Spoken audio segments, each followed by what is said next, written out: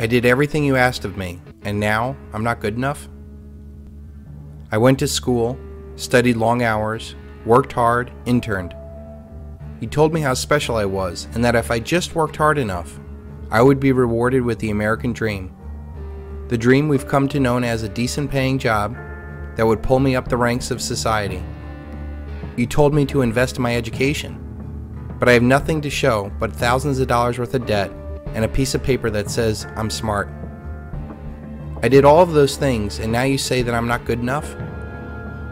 The best jobs I can find are jobs which not only do not resonate with who I am, they make me feel underpaid, underappreciated, and with no purpose, place, or direction. I cannot buy a house, I cannot buy a car, I can't even start a family.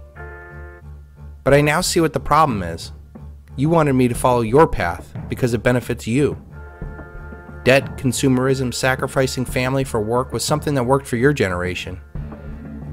I now see that unless we follow your path, your world will end. Who will buy your assets? Who will pay your social security? Who will fight your wars? Who will rent your properties if not my generation? We see the big picture now, and we are aware of how this world works. We now see that listening to that inner voice that we all have inside of us, in order to pursue our dreams, is the true path of becoming your highest and best self. We may be caught in debt and in a faltering economy, but we're young and smart, and now our eyes are open. We will work to correct the wrongs of this world. We will turn the tide around and save this country, but it won't be the way that you want it to be, not by preserving the status quo with more debt and death.